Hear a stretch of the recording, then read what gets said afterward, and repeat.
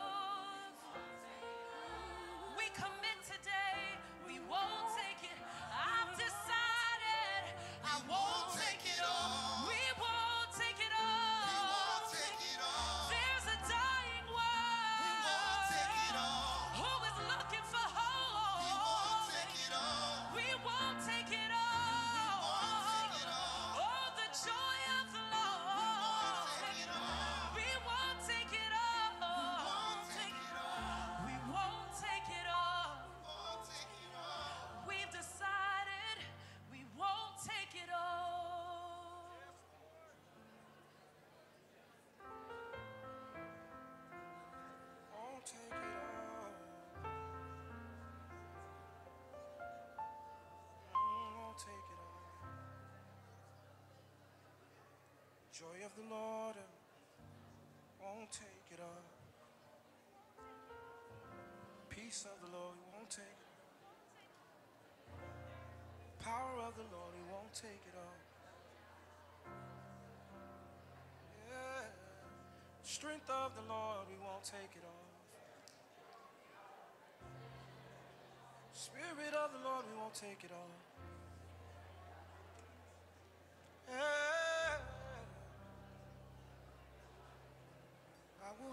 Forever, Lord, close to me. And I won't let go. I will hold you forever, oh God, and I won't let go. Won't let go of your hand. Won't let go of your hand. I'll never let go of your hand. Never let go of your hand. No. Never let go of your hand. No. I'll never let go of your hand. No. I'll never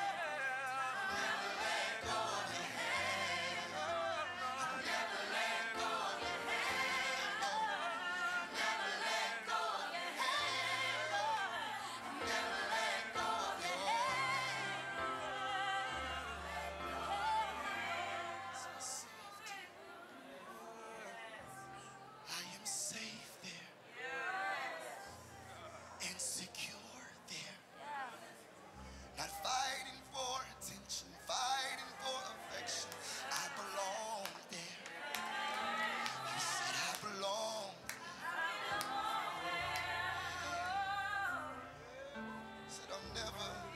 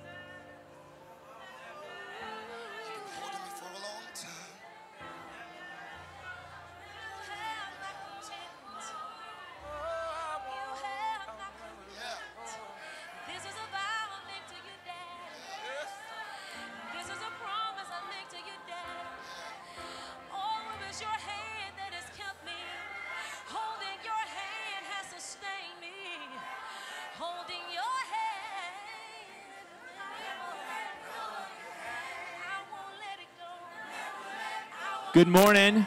Welcome to chapel. Make your way to your seats. Just want to give a shout out to those who are watching online. Good to have you with us this morning. And I think we've got a couple of visitors from admissions from Byron Center in Farmington. Steven and Julia, are you over here? Glad to have you. Joy Chapel. I'm Brian Kono. I'm the chaplain here at Spring Arbor University. Uh, we meet here on Mondays and Wednesdays. Uh, so I hope you enjoy your time here in chapel and then for your, the rest of your visit. We got uh, just a bunch of things happening, happening in the next few days, uh, kind of all on top of each other. You will not be bored as we get ready to hit spring break. Tonight from 6 to 8 is the Arbor Renaissance. This is a come and go event. It's in the RCF. So come and enjoy this time that we've designed after the kind of the Harlem Renaissance era. Um, OIR has put this together for Black History Month. Also tonight in the RCF, right after the, the Arbor Renaissance at 9:30, our spiritual life team has put together a time for. Um, this is actually not worship in the Word; it's just a time for prayer. So we have got six different stations that we'll invite you to participate in that will help you go deeper in your intimacy with the Lord and help you focus on, on praying and, and releasing things to the Lord. I'm kind of a, an ADD person, so I need activities to help me focus. And this is a, if you're like me, this will be a great time for you. Also tonight is casting call for short films, which will be happening later in the semester. So that is from 6:30 to 10 in SDH 202. Tomorrow night is movie night featuring Ruby Bridges. This is an event from uh, in RCF, right? Yeah, RCF from 7 to 9, candy and popcorn. And this event is sponsored by OIR and the Epsilon Chi organization. Also, tomorrow night is Gainey Oki. Come and show off your talent.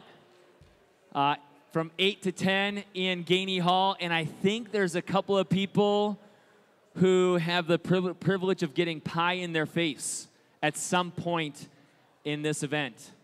Uh, Andrew Phelps and Coach Cam Mills. Is that right? And I think myself. We are all included in that, that list. And then Saturday, the muse- uh, trip to Museum of African American History. I think you need to sign up for that, so check the app on how you might do that. It's a free event, leaving here at 9:15 a.m. Uh, trip to Detroit to enjoy the, uh, the what the museum has to offer. Okay, check the app for other activities. I'm sure I didn't catch all of them. So on the on the app under the events page, you can see what else is happening this week. Can you believe it's just a week and a half before spring break? Wow. How many of you are going on spring break missions trips? Good number of you. How many of you athletes are traveling for your sports team? A good number of you, baseball team, golf team, traveling, tennis team. Some of you may just be going home. I'm sure you're ready for that break as well. Well, today, shh, today as we uh, prepare our hearts for worship, I just want to give you a, a quick highlight on our speaker. Uh, Rob McKenna is um, from Washington era, area. Sorry, Washington era, Washington area. Uh, he has spent some he has spent some time here in Spring Arbor working with an organization locally. And then last night, he and his partner, Daniel Halleck, spent time doing some training for uh, leadership here on campus over in White Auditorium. Uh, Rob has spent time in um, with some large organizations in the Seattle area and around the country. Um, organizations like Boeing, Microsoft. Maybe you've heard of these companies.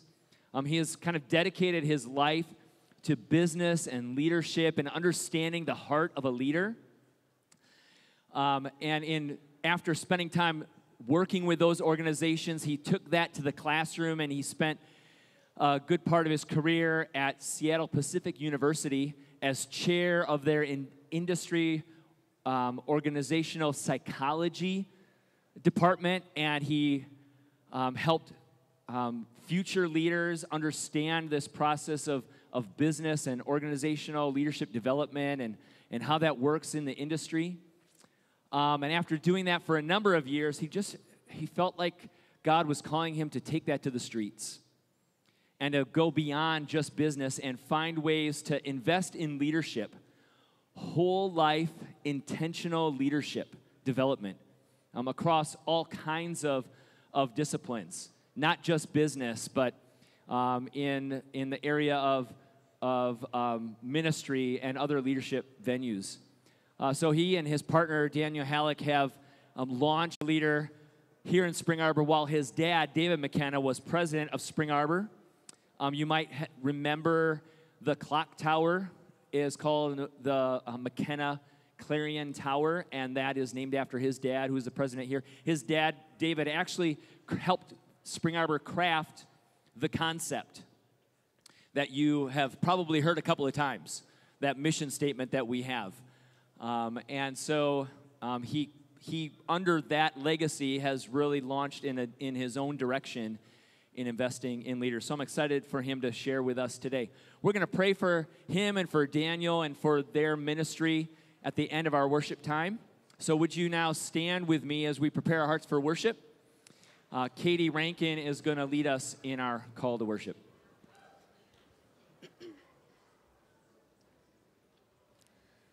Psalm 47, 6 through 8 says, Sing praises to God, sing praises.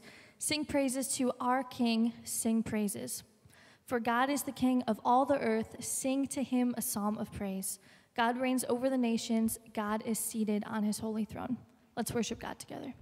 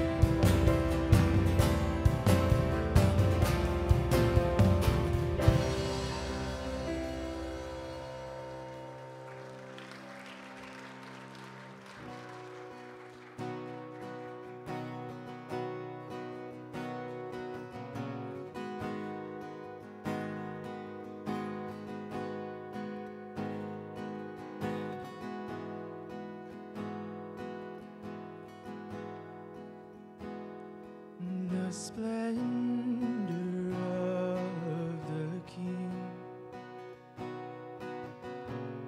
clothed in majesty, let all the earth rejoice, all the earth rejoice.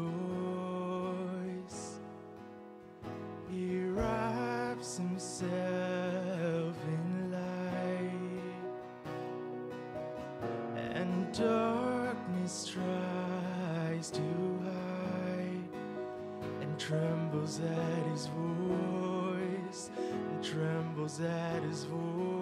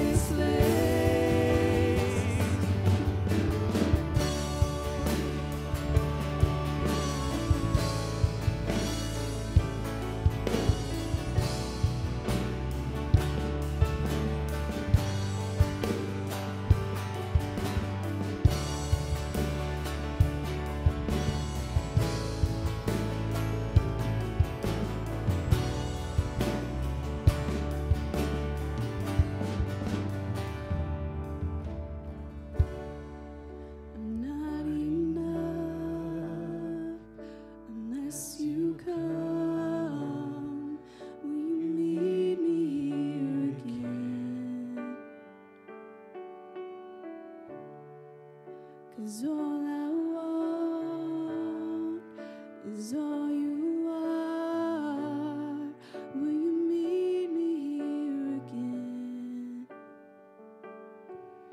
I'd like to invite Rob and Daniel to come up here and we're going to pray for them and for their ministry. Pray for our time that we would have open hearts ready to hear what Rob has to share with us. If you'd like to come and lay your hands on them, join us in prayer. Lift our voices together as we pray for this moment for God to speak to us.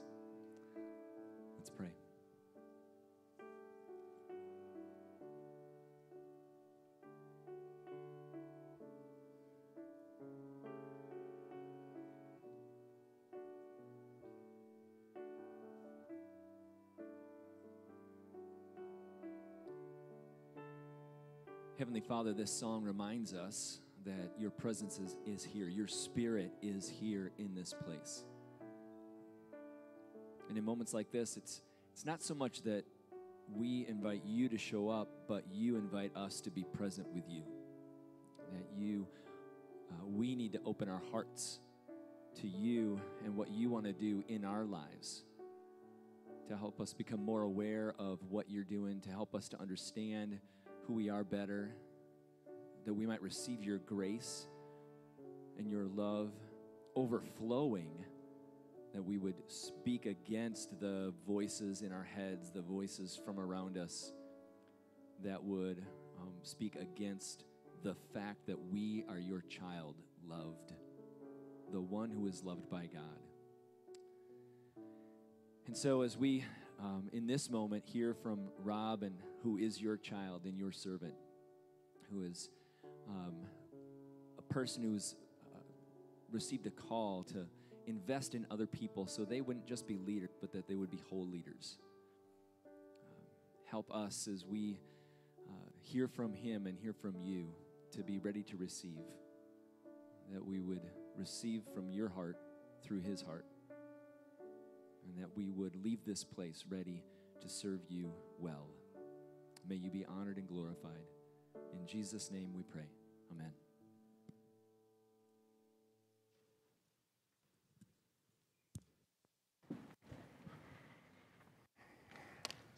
Ready to go, Brian. Straight up. Woo! That doesn't happen every day. Um, do you know it doesn't happen every day? I told uh, Brian, I said, like, is this what you do for all the speakers? And um, I want you to know that's a profound moment for me, so I'm really grateful for that prayer. Um, so I was convicted recently by an, I've been reading Oswald Chambers. Any of you use Oswald Chambers? My utmost for his highest. You've read it? Um, I'm back into it, and one of the things that has been profound about his, he calls out things that I don't usually think about, and it's um, there's one one particular. It was in February a few days ago, and he talks about the guy. There's a guy in Mark where Jesus is in the synagogue, and the guy with the withered hand. Do you know that story? And um, some of you give me a nod. I need like a verb, like a visual. I've been on Zoom a lot for two years, so like a little bit. Okay, all right. So, um, and the guy with the withered hand, he's there in the synagogue, and the, and the story goes that what you remember about it so often, if you remember, is this guy needs healing, and he's he's got this hand that's messed up. And uh, in the story, it's Jesus is getting uh, a lot of grief from the Pharisees for healing on the Sabbath. This whole question comes to the table. And so when you read that passage in, in Mark chapter 3, I think it is, I oftentimes think like uh, that it's about the Pharisees and it's about the point that Jesus was going to make. But what Oswald Chambers calls out is this he calls out that it's really about the guy with the withered hand. Do you hear what I'm saying? Like Jesus is, is about to heal this guy on the Sabbath, which causes a controversy. And it's, it's all about the controversy. We see all that going on. And so we, we lose track of like, did Jesus heal the guy with the withered hand so he could make a point? Please tell me no. the guy needed healing. And the guy took initiative to reach his hand out. And I tell you that because of this. There are people in this room who have withered hands. And it's probably most of you. I should I need to change that. It's probably most of us. You know what I mean? A place where you need healing. And so, I, as I'm talking for the next few minutes, I can't promise where this is going to go. I just promise I'm going to finish on time. so please just allow me to do this because, like, it's one thing I'm decent at, but sometimes I miss points. But I just hope that something I say you might grab onto and pay attention to. So I'm going to ask you to do. First of all, is do not discount yourself. Please do not discount yourself. Some of you who feel like misfits in this room, you haven't been able to fit in in college, you're trying to figure out what it is, you're in a fight with your parents, you know, some faculty who have been around here for a long time who are still trying to figure it out, you're about to know that I'm in a process of figuring it out. So don't discount yourself, please. I don't care what your story is. I'm up here on like speaking to you just because this is an honor to do this, but I can tell you my story is just as much wholeness and brokenness as any of you. So do not discount yourself when I ask you this question. Don't be afraid of this question. And you know, you think this is on me, but I'm about to make it on you. I'm going to ask you to answer this question in about two minutes, and I'm going to stop you. And some of you are going to be mad at me because you're going to want to talk more. Well, go talk more after chapel, please, okay? So here's the question What would change if you were hearing God's voice more clearly? I know some of I, I saw that look. You're like, whoa, we're going there. Like, this is chapel, right?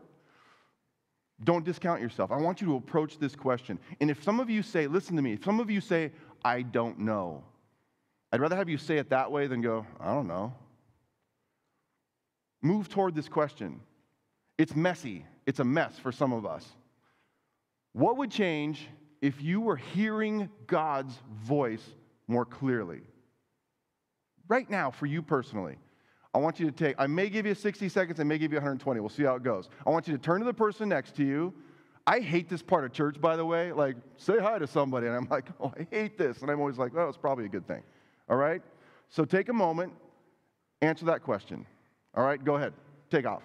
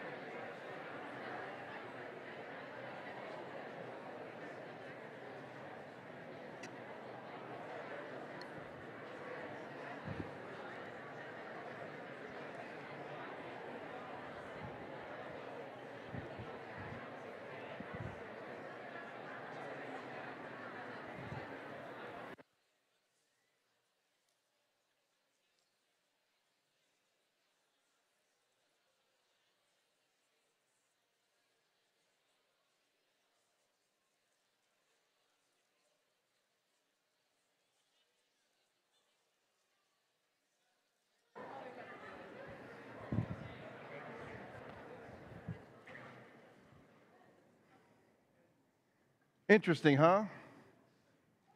Interesting. I want to offer you this, this thing, just keep thinking about this that so much of your development and growth as a person or as possibly a leader will be about questions like that. It won't be about the answers. It may be about the answers less of the time than it is about the questions. Maybe so. Okay, so let me give you a little context. I always think I kind of need to understand where someone came from.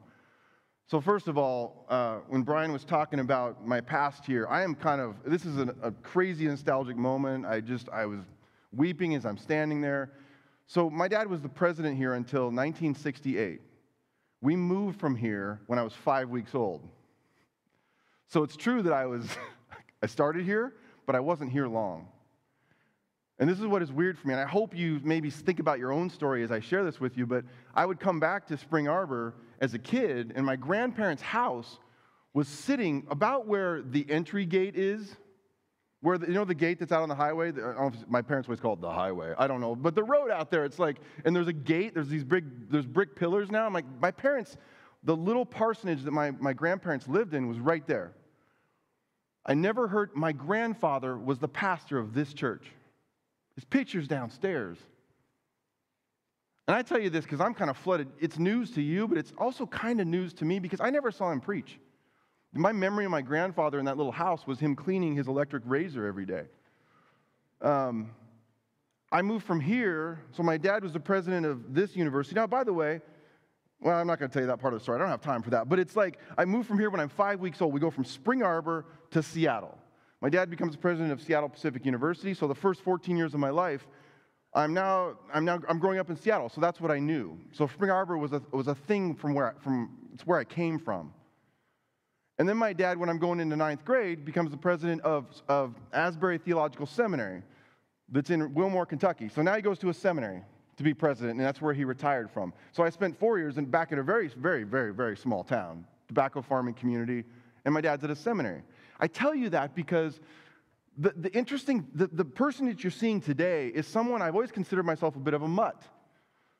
And, and it's interesting. So this Carillon Tower is named after my folks the McKenna Carillon Tower. My parents, let me tell you, they don't really care about names on buildings. It's not about that for them, but they are very symbolic. So think of the, the, the, the experience that has forged who you see standing here. Is that the buildings that are, this, I've thought about this, the buildings that are named after my parents, who are amazing people, these are the buildings. The, the, the School of Business, the McKenna Hall, McKenna Hall at Seattle Pacific is named after my folks, a business school. All right? You go to Asbury, and there it's the McKenna Chapel. It's a seminary. They train pastors, right?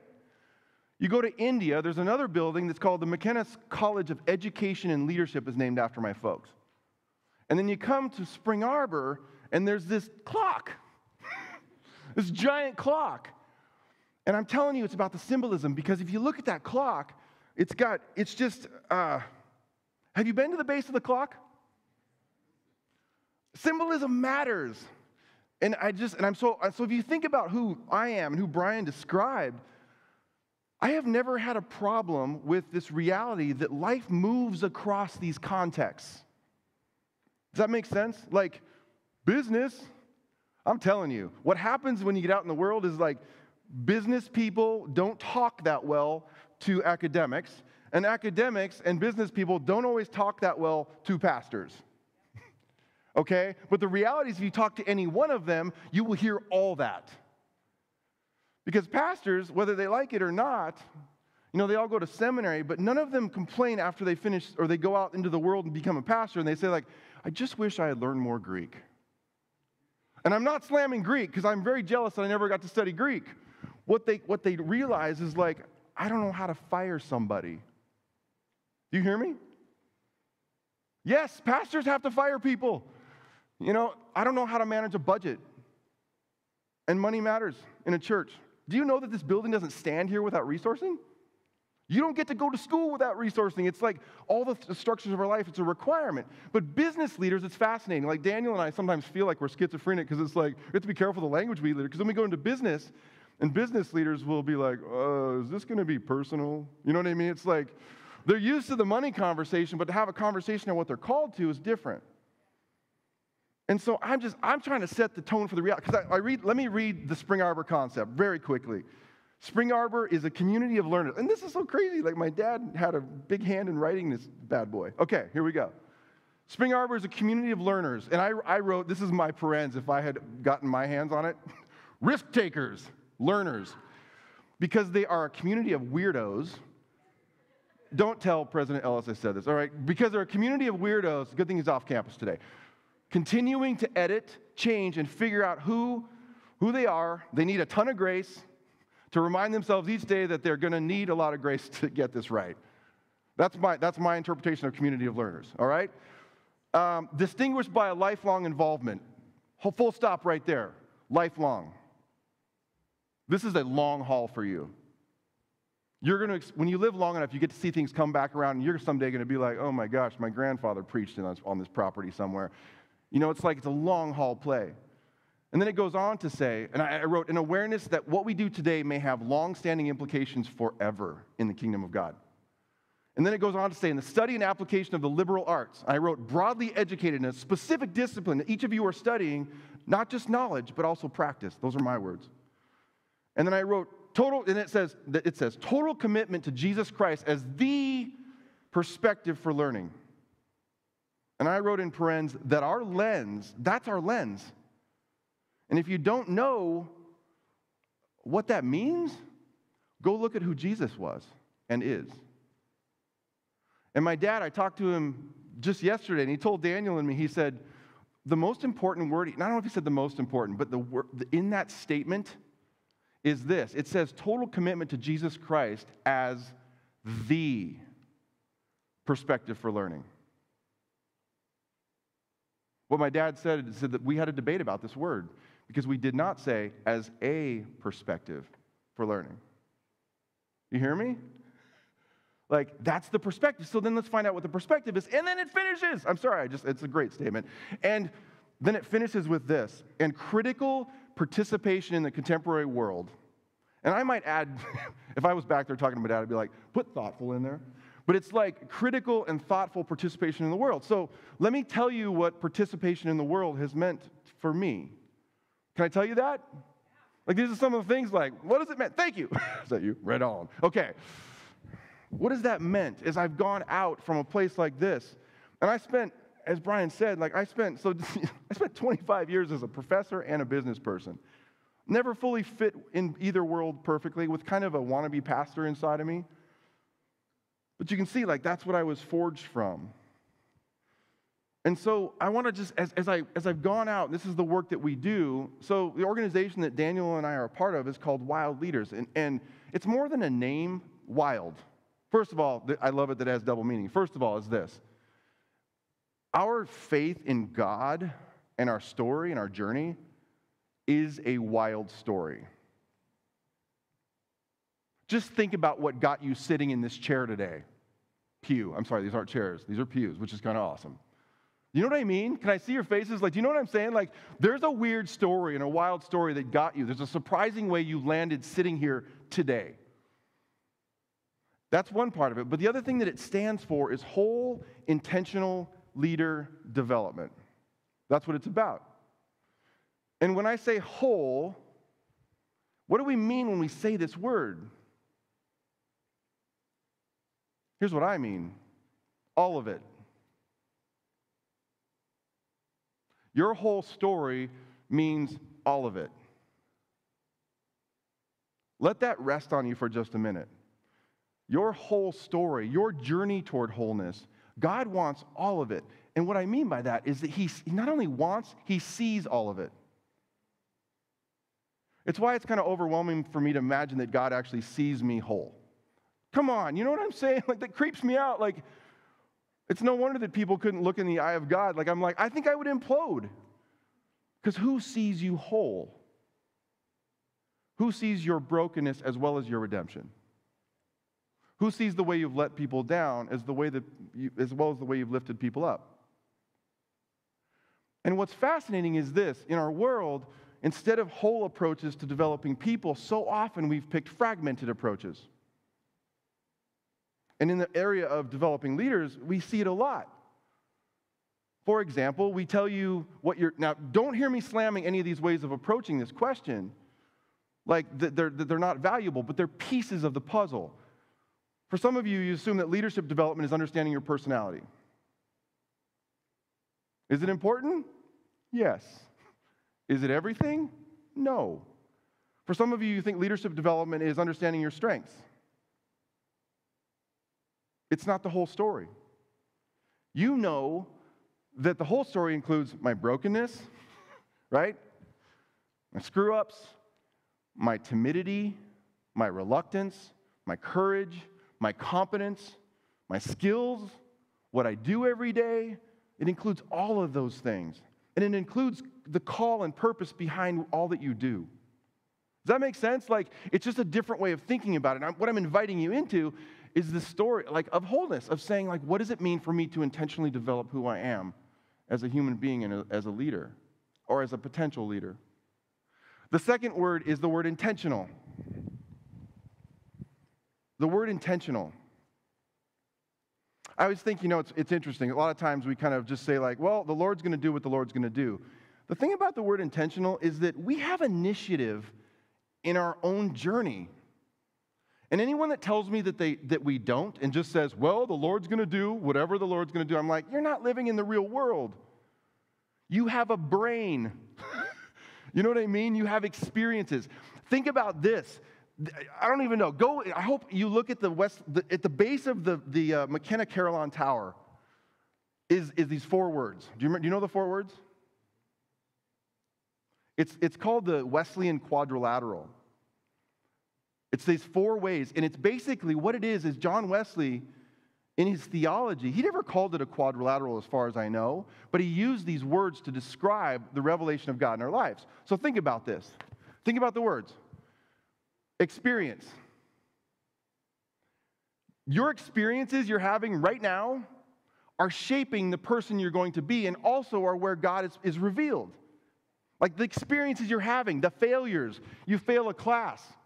I'm a guy, I, I applied to 12, I'm, I'm out in something. I don't know if I've said this from a stage before. I applied to 12 PhD programs. Guess how many I got into? One. 11 failures and one success. You know, and I, t- but it, did it teach me something? Of course it did. So experience matters in your understanding of the revelation of God. The second thing that's around that, that tower, if you look to another side of it, is tradition. Traditions matter. My parents were married in this church, not in this, this space, because this didn't exist. But did you know that when my parents were married here, you couldn't have instruments in church? You could have singers, but you couldn't have instruments. So all this, sinful. you know, but, but traditions matter because they inform our understanding of God. Then, the, then there's another piece reason. Go look at it. If you see this again, reason. What does that mean? This is why I love John Wesley. It means your brain matters. Do you hear me? Your studies matter. They are not evil. There are churches I could walk into where they're like, psychology is from the enemy. I'm like, the psychologist is a revelation of God. You look at psychological literature and study of human beings, you know what it looks like? the gospel. it really does. It's amazing. And you think about your studies and your disciplines, bringing your brain to that with intention. Like what God opens up is unbelievable. I get so excited about you're studying nursing, communication, psychology, sociology, ministry, you're going to go into theology. I don't know. All of engineering, it's amazing. The third word is leader. Leader whole intentional leader development. What does this word mean? We played a game as children that was about this word. Yell it out. What was the name of the game? Follow the leader. In India, when I ask that, they say Simon says. I don't know why. I think it's the same game. Did any of you show up at the local bushes or playground with your friends and go, I'll play this game you suggest? if we define what a leader is, you're eight years old, right? What is the difference between a leader and a manager?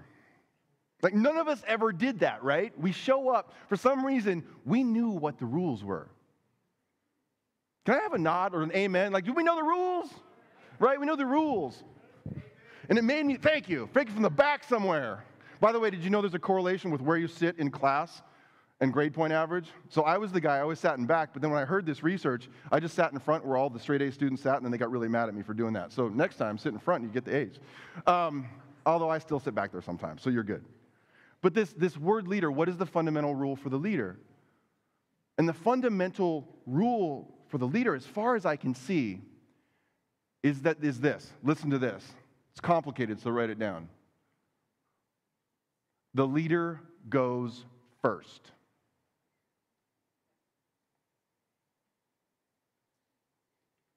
I didn't qualify it. The leader goes first.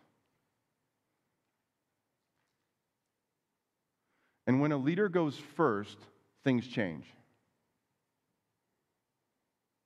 The first time that you step out and do something first, things will change. Whether you're the first person to listen, the first person to manage the group, the first person to be a supervisor. And when you do that, it will get hard it will get difficult. I've seen it over and over again. And so that's why I've invested my life and career in the possibility that we could invest in a generation of courageous and sacrificial leaders. Philippians 2 kinds of leaders who would, who would mirror and reflect the glory of who Jesus Christ is Remember that Philippians 2? It says your attitude should be like that of Christ Jesus, who, being in very nature God, so was beloved God, and at the same time didn't it consider equality with God something, something to be grasped. And so, as you go out and lead, some of you are in a leadership role right now. If it's hard, I know. But I spent my life, and that's what Daniel Hallak and I do, is trying to, to encourage these kinds of leaders. People that when it gets difficult, everybody's staring at you and you're failing and people, it's public and you're feeling isolated because the people you were friends before, now you're their supervisor or you're their resident advisor or whatever you call, we call them at Spring Arbor. That it gets tougher and it will get tougher. But we could be intentional about our development and preparation for that moment where we will go first. And those of you who are reluctant to lead, to be leader disciples and heading out into the kingdom, I want to I want to tell you that your reluctance does not scare me. I want some reluctant leaders. Do you know that there is talk? I don't know what's true anymore, right? But if you, if you just look around right now, there is the possibility that World War III is on our, on our horizon. Now, don't everybody freak out. Like, it's in the news. It's whatever Putin ends up doing, right? You know, it's like, or how we respond. But I tell you that not because I want you to freak out about the world, but this. What if the next, what if the next president of the United States is sitting in this room? Not the next one, but maybe 20 years from now, sitting in this room right now.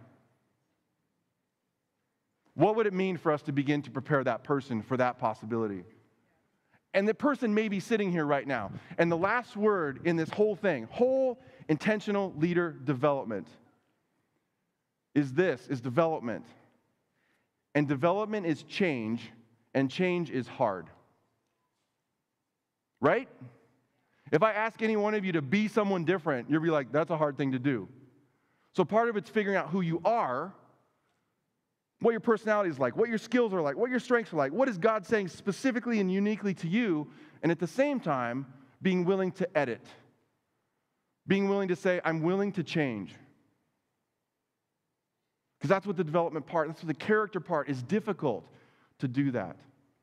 Whole intentional leader development. So I come back to my question I asked you at the beginning. Because I tell you that, that because one part of a whole person in leader's journey that is so critical, and one of the starting points is this, this concept of calling. And some of you have heard this before. There's language we use around this word. The common language I hear all the time on Christian college campuses is this What is my calling? Do you hear me? Have you said that before? What is my calling? And I say this because for the first time in history, as far as I can tell, we've never used this phrase before. The call on your life is not yours. It's not something you have, it's something you hear.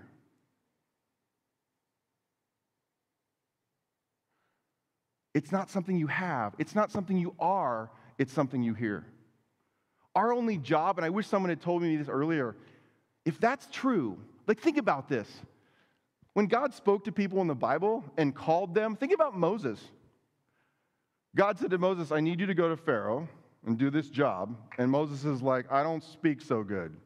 And God's like, that's not what I said. I need you to go speak to Pharaoh. And the fact that you don't speak so good, that maybe your strength, because I need you to say this. It's, it's difficult, Moses, so write this down. Let my people go. I don't want an orator. I want you to say that. Do you hear me? And so I come back to my statement is so we have complicated this and turned what is a, a, a summons on our life from the Lord into an identity where we feel this burden of what, how do I find my calling? How do I discover it? Keep studying, and then I would just say, listen to God. Whatever your weird way of listening is. and I, if, you look at, if you look at the base of the McKenna Carillon Tower, there's some nice framework for it. Listen to your brain, Listen to your experience, what's happening around you, who's speaking in your life. Listen to the traditions, even the weird stuff about not having instruments, or whatever. And first and foremost, get in Scripture. That's the foundation of it all. So I just want to leave you with this. I'm coming back to my question. I hope this echoes, for those of you that need this, this echoes for you all day today. Maybe as you go back and you look at the base of that clock. What did I ask you at the beginning? What would change? Uh, let, me, let me add something to the first part. What is God saying to you lately? To you. And if you don't know, I'm very interested, and I would say, tell me more about that. What is God saying to you lately? And what would change if you were hearing his voice more clearly? Because it begins there, and then we keep going. Let me pray, all right, as we finish. Lord Jesus, I'm just so grateful to be here. I can't even believe I get a chance to speak to um, this community at Spring Arbor. And I just pray that you would wire us together, Lord. Bring more wisdom than I could even, whatever I said just now. And Lord, I just pray that you would help us to hear you more clearly today. You would invite our minds, invite our whole person into this story that you are unfolding that is for your glory. Bring our minds and our studies, our experiences, the traditions that surround us, and help us to be rooted in Scripture. And Lord, may your Holy Spirit just speak to us throughout today, this week, and for the rest of our lives. And I'm excited for whatever will come out of this moment. And I pray all this in the name of Jesus Christ, our Lord and Savior. Do you hear me? In that name. In the name of Jesus Christ, our Lord and Savior. Amen. Amen.